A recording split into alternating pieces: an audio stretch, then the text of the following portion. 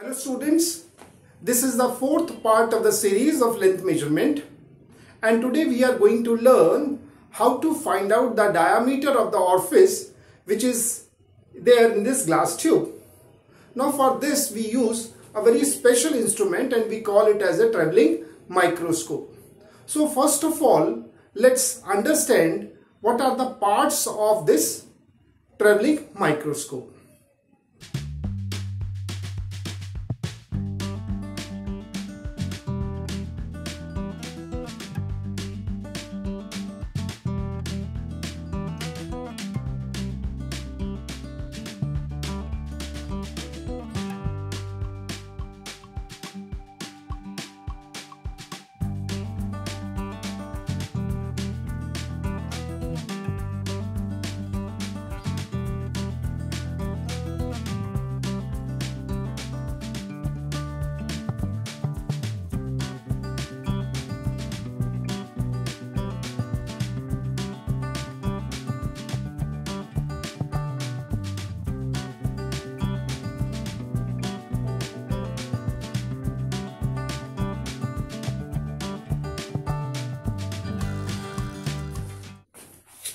Students as we know that the very first thing we have to do is to find out the least count of the instrument.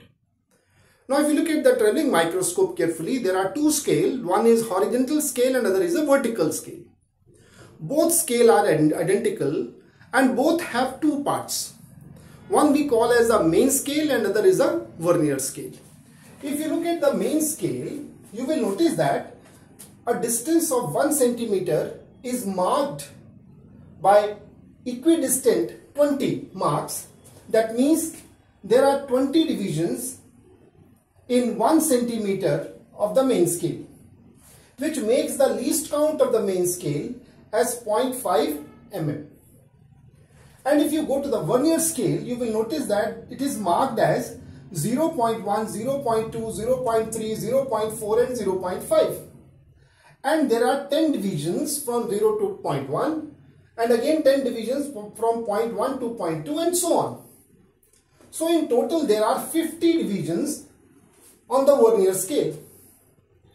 And if you look at the last division of the vernier scale, it is coinciding with the 49th division on the main scale,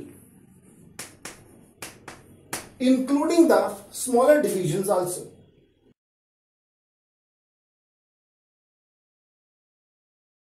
Right? I'm counting the smaller divisions too. Which means that this is equal to 49 multiplied by 0.5 mm. So if one has to calculate how much is the one division on vernier scale that is 49.5 divided by 50 mm.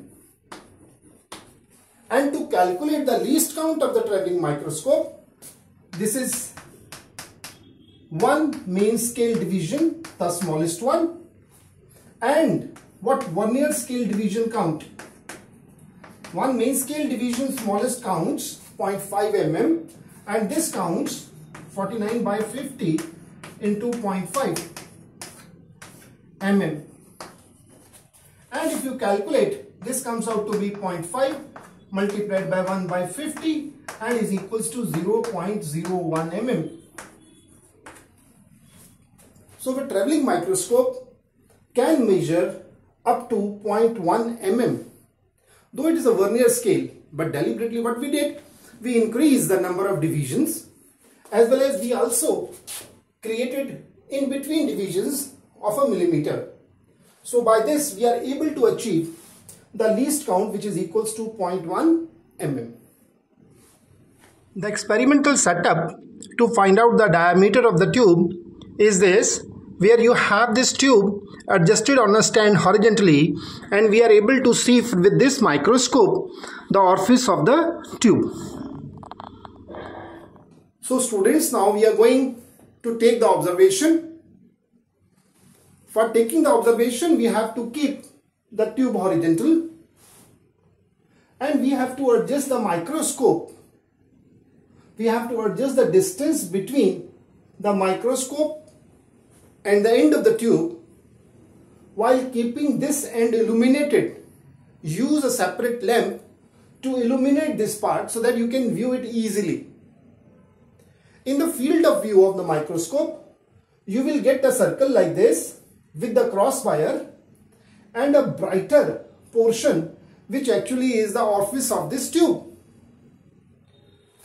Now to do the measurement, we have to use the horizontal as well as the vertical scale. Horizontal scale is when, when you are moving, it means that when you are moving your turning microscope in horizontal direction, you have to use the vertical wire of the crosswire, adjust it in such a way that it touches the one end of the orifice image and record what is there on the main scale. It means that 0 of the vernier scale where it actually rests. In our case we found that it rests between 9.5 and 10.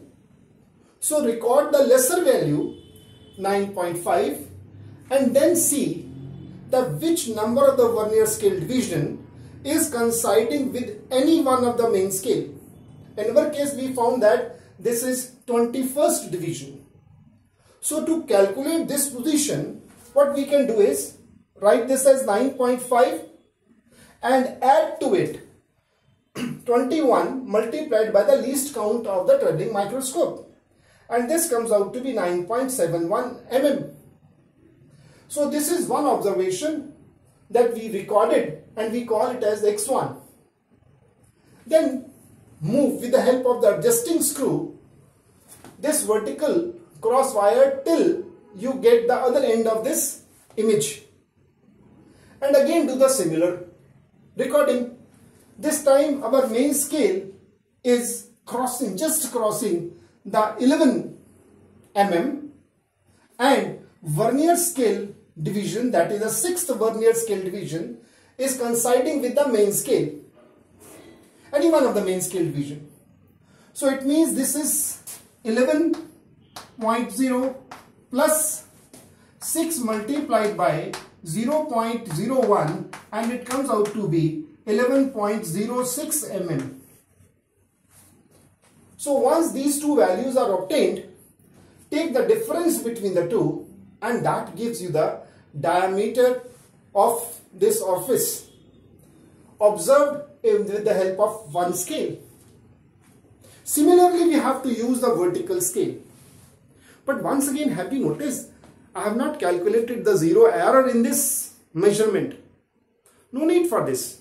Because if there is some error in the measurement of x1, that is going to be the same error in x2 and you are to be taking the difference of the two.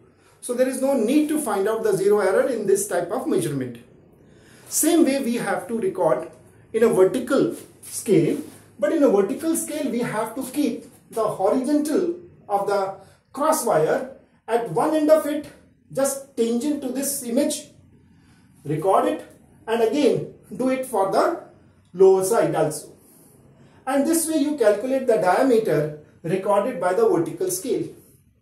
Now take three observations, three observations using the horizontal scale and three observation using the vertical scale. And then you can take the average of these diameters to find out the value.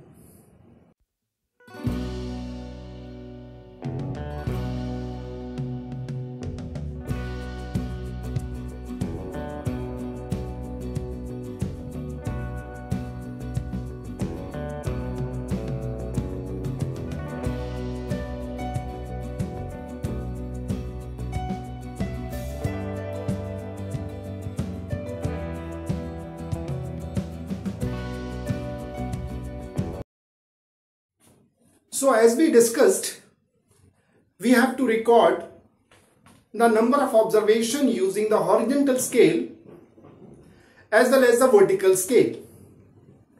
Because sometimes the orifice may not be perfectly circular. So in order to just do the minimum error, we take the two perpendicular directions for the measurement of the diameter. Now we have taken the observation and we found that the diameter is 1.35, 1.38, 1.43, 1.37, 1.44 and 1.49 millimeter. In these three observations on the horizontal scale and three on the vertical scale. So the average value comes out to be 1.41 mm. So we can mention the diameter of the orifice is 1.41 plus minus 0.01 mm. That is the least count of our instrument. So when the instrument is doing the measurement, it is likely to give you the value within the limit of its least count. So this is how we can measure the diameter. However, this instrument can be used even to find out the diameter of a wire. You can fix a wire as we have seen we have fixed this tube horizontally and then use that uh, this microscope to get the vertical line of the cross wire at one end and the other end also. This way we can also measure the diameter. So there are number of applications of this traveling microscope. So I hope by now you have learned some of the important instruments for the measurement of length.